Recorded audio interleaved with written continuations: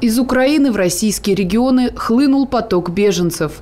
Люди, ощутившие настоящий неподдельный страх перед лицом войны, поделились с нами во время съемок репортажа своими мыслями и эмоциями. В какой момент э, решили?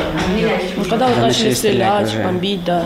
Думали, что Когда начали стрелять вот так вот? 20 числа вроде бы уже танки начали, вот я не сначала не вот по- БТРы, танки, потом. Да, я видео смотрела в Луганске, думаю, до нас уже когда не доберутся в Луганске, Ну, так в да. Луганске. Потом мне уже говорят, в Краснодоне начинаются. Я думаю, все уже А когда вот начинается. уже уехали, говорят, что вообще границы перекрыли. Каждый из них, и стар, и млад, все бросили свои дома, свою привычную жизнь.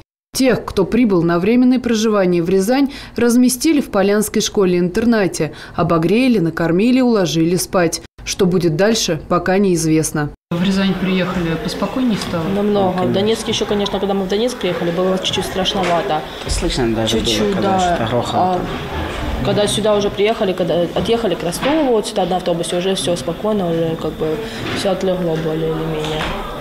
Вы вчера поздно ночью приехали. Да, Где-то часа 3-4. 3-4, да, нас встретили на въезде в Рязань. Девушка встретила, напоили. встретили, сопроводили, да. На границе они чудом миновали перекрестный огонь. В Ростове уже вздохнули с облегчением.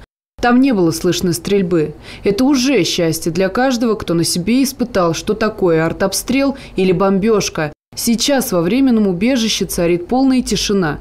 Люди уже привыкли разговаривать шепотом, чтобы никто не услышал и не нашел их, не взял на прицел. Кто мог знать еще недавно, что такое вновь повторится в нашей новейшей истории?